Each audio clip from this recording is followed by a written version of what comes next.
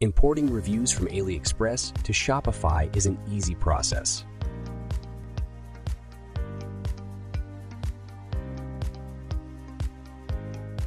To begin, make sure you have installed the Wise Reviews app in your Shopify store, and the best part is, it's free to install. To get started, head over to the AliExpress product page and copy the URL.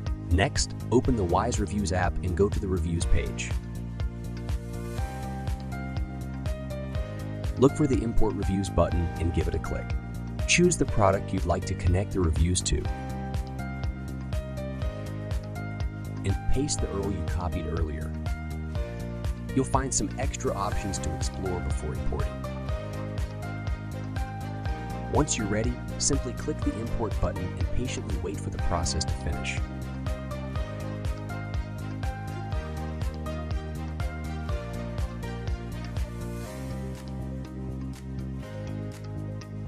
That's it.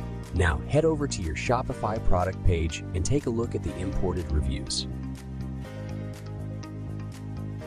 Fantastic! You've successfully brought in reviews from AliExpress to your Shopify store.